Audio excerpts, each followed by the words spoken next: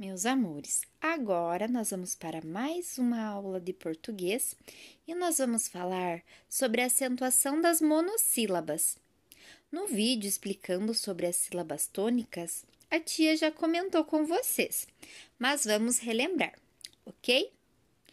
As palavras também são classificadas de acordo com o número de sílabas, tá? Então vamos lá. O é sozinha, então é uma monossílaba. Jogou, de sílaba, duas sílabas. Foi, uma sílaba, monossílaba. Criado, cri, uma A, duas, do, três, trissílabas. Por, por é uma monossílaba índios. Índios é uma trissílaba. E brasileiros, quatro mais sílabas, que é uma polissílaba. Agora, vamos ler aqui, acompanhe a leitura com a tia Carla. As monossílabas tônicas, ou seja, palavras formadas por uma sílaba apenas, e pronunciadas com intensidade na frase são acentuadas quando terminam em. Lembram que vocês anotaram no caderninho de vocês que a tia Carla passou? A ou acompanhar ou seguido a ou seguido de s, no caso singular e plural, chá, chás, pá, pás, e ou seguido de s, pé, pés, ré, rés, o ou seguido de s, ou seguido de s, dó, dós, nó, nós, ok? Agora, vamos ali para a questão de número 4. Vamos lá. Então, na número 4, nós devemos escrever mais uma palavra monossílaba terminada em A. Vamos ver? Uma sílaba terminada, uma monossílaba terminada em a. Vamos lá. Tia Carla vai dar um exemplo de K. Hum, ou então nós podemos colocar lá. Até mesmo ma. Então vocês podem escolher uma dessas três para colocarem lá como opção, ok? Na letra E, vamos pensar. Fé. Ou então, né? O que vocês acham? Uma opção que também podemos utilizar. E com o nós podemos pensar só ou então pós. Porque nós podemos colocar tanto terminada em O quanto seguida de S. No caso, pó singular e pós plural. Ok, meus amores? Agora, aqui na número 5, tá falando o seguinte: acentue as palavras a seguir quando necessário. Bem, bem, bem, não se encaixa na nossa regrinha. Então, ela não é uma monossílaba tônica, ok? Então, nós não vamos colocar, né, é acento. Boi, Boi também não. Bom. Bom se encaixa? Hum, não. E chá? Chá termina em A. Chá termina em A, então nós vamos acentuar, ok? Chá. Cre. Cre termina em E. Muito bem. Então nós também vamos acentuar. E fé? Fé, fé, eu tenho fé. nós também vamos acentuar, porque termina em E. E lembrando que monossílabas tônicas são as que terminam em A ou As, no caso, né? E ou Es e O ou Os. Luz, luz não se encaixa. Mal, mal também não se encaixa. Mês, lembrem lá, terminada em E ou E, e acompanhado de S. Então, mês, nós vamos colocar o acento. Nós, nós também termina em O acompanhado de S, está no plural, nós. Então, nós também vamos colocar o acento. Oi, oi, não, não segue a nossa regrinha. Pá, termina em A, vamos acentuar. Pé, termina em E, vamos acentuar. Pós, termina em O acompanhado de S, também vamos acentuar. Rei não se encaixa na nossa regrinha, porque termina com E acompanhado de I, rei. Então, está no singular, né? Termina com I, está no singular e não se encaixa. Ré termina com E.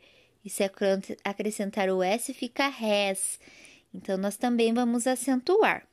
Sou. Sou não entra na nossa regrinha, né? Porque termina em U. E a regra é A, E ou O, acompanhadas de S. Mim também não entra na regrinha porque termina em M. Pó. Pó termina em O, então vamos acentuar. Se fosse no plural, ficaria pós. Opa, ficou meio tortinho aqui. V, V termina em E. Também se encaixa na regrinha, né, meus amores? Então, nós vamos acentuar também, ok? Então, vamos observar as palavrinhas lá. Lembrando sempre, meu, meus amores, monossílabas tônicas são terminadas em A, As, E, Es, O, Os, ok? Sempre é bom prestar bastante atenção para não errar, ok? Meus amores, na página 34, vamos ver sobre divisão silábica de uma forma diferente, fazendo o que é o que é. Então, lá tem essas figuras aqui: picolé, pão, árvore e framboesa. Pão, picolé, framboesa e árvore. Agora nós vamos ver, de acordo com as pegadinhas, qual é a certinha. Vocês vão recortar e colar no material de apoio. É, quero dizer, vão recortar e colar lá na atividade, ok? Vamos iniciar então. A primeira pegadinha está escrito assim: Sou vermelha, saborosa, polissílaba e paroxítona. Quem sou eu? Então, ó, quem é vermelho e saboroso aqui? Hum, parece que é a framboesa. Mas vamos ver se realmente é a framboesa? Vamos tirar a prova real disso aqui. A tia Carla escreveu aqui. Framboesa. Vamos ver se realmente é a framboesa. Diz que ela é vermelha e saborosa. Ok. Agora vamos ver. Sou polissílaba. Vamos contar quantas sílabas ela tem? Deixa eu pegar aqui. Vamos ver. Vamos ver. Uma, duas, três, e quatro. Polissílaba. Então, até aqui está ok. polissílaba, porque tem quatro sílabas. Uma, duas, três, quatro. Agora vamos ver se ela é uma paroxítona. Vocês lembram que nós devemos contar de trás para frente, né? Uh, qual é a sílaba mais forte? Vamos ler. Frão, bo, e, za. Então, qual é a sílaba mais forte? É a e, framboesa. Então, a sílaba mais forte é a e. Então, vamos lá. Oxítona, se fosse a sílaba mais forte, a última, e paroxítona, a, a, a penúltima sílaba, né? Que é a paroxítona. Então, se encaixou a framboesa na primeira pegadinha. Agora tá falando assim na segunda. Posso ser grande ou pequena, com frutas e flores. Sou trissílaba e proparoxítona. Quem sou eu? Vamos ver se a árvore se encaixa, meus amores, nesse nessa pegadinha, nesse o que é o que é o que é? Pode ser grande ou pequena. Muito bem, por enquanto sim. Pode ter frutos e flores também. Vamos ver se ela é trissílaba? Uma sílaba, duas sílabas, três sílabas. E vamos ver se ela é proparoxítona? Árvore. Oxítona, paroxítona, proparoxítona está acentuada, então também é a árvore. Muito bem! Agora tá falando o seguinte: posso ser branco, integral ou doce. Sou monossílaba tônica. Quem sou eu? Tadã, vamos ver se é o pão? Então pode ser branco, integral ou doce. Ok, realmente pão tem várias opções. E há uma monossílaba tônica, né? Um monossílabo tônico. Vamos ver? Pão contém uma sílaba, é tônica, tem acentuação. Então, está correto, é o pão. E agora sobrou o último e vamos ver por que é que é o picolé e vamos ver se está certinho. Sou gelado, trissílabo e oxítono. Quem sou eu? Tarará. É gelado? Sim. Trissílabo. Um, dois e três.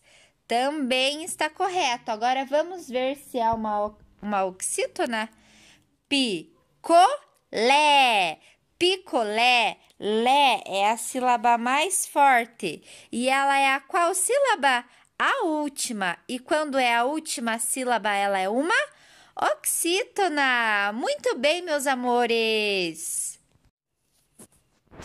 Meus amores, agora no material de apoio de vocês tem essas duas cartinhas aqui escritas o que é o que é.